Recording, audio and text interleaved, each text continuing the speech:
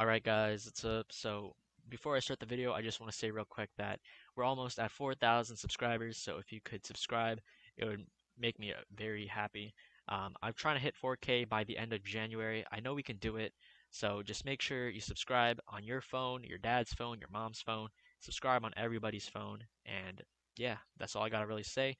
But uh, let's get started with the video. So I want to talk about the Viridian Domino Crown. So um, this is just one of those, um, this is basically just a retexture of the domino crown, but I actually like this domino crown. Um, it matches with my avatar pretty well. Um, it's not super expensive, like it's not in the millions or hundred thousands. It's on, it's 87,000, which is still expensive in my opinion, but it's not the most expensive limited we've seen. And yeah, this is pretty cool. So I'll show you guys how to make a UGC version of this for only 100 Robux, which is very cheap compared to 87,000 Robux. And you can definitely make some cool outfits with the Viridian Domino Crown. This is like a pretty nice hat. It's a green domino crown basically, and you know, that's pretty cool. So here you want to get the Viridian Domino Crown Part 1.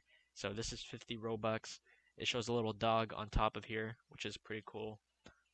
Uh, you can see it actually so yeah, this is pretty cool how they split this up. So um, they split it up very weirdly.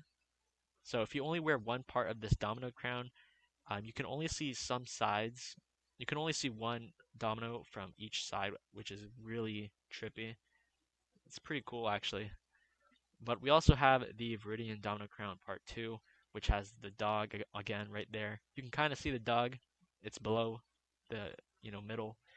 But uh, yeah, this is the second part. So once you wear both items, you get this right here. So you can see, um, I don't think the dog shows anymore. I think the dog's completely gone off here, but uh, yeah, you get exactly the same thing for just 100 Robux. Outfit cost is 100 Robux. I'm only wearing these two items right here. So yeah, that's pretty cool. Um, I'm.